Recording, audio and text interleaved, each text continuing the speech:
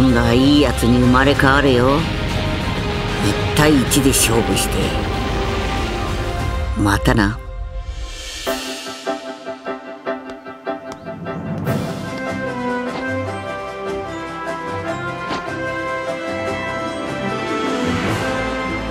そろそろだな、じいちゃん！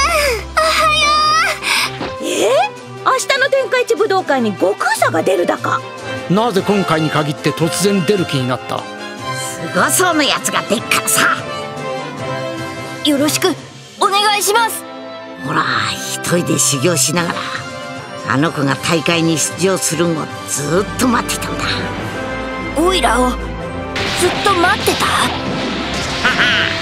楽しいよな。ほらおめえとは思いっきしオイラは約束したんだ。絶対負けられねえ。さすがブーの生まれ変わりだ。ほらおめえとこんな風に戦えんのはずっと待ってたんだ。